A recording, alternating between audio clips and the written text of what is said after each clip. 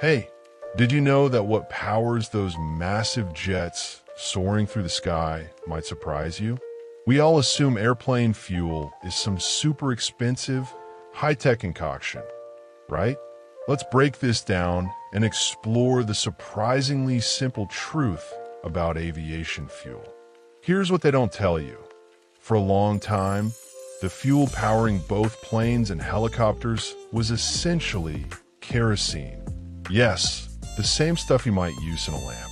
It's remarkably similar to jet fuel. The key difference is just a slightly higher freezing point in kerosene. Let's explore this further.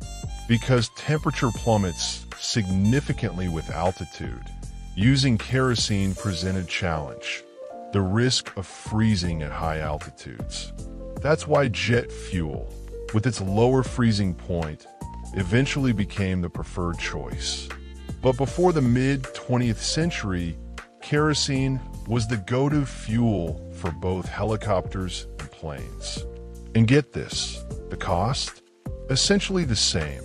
So, the next time you see a plane taking off, remember this surprising piece of aviation history. The fuel powering those giants wasn't always the highly specialized fuel we imagine today. It's a fascinating look into how technology has evolved, and it leaves us wondering what other misconceptions do we have about the everyday things around us?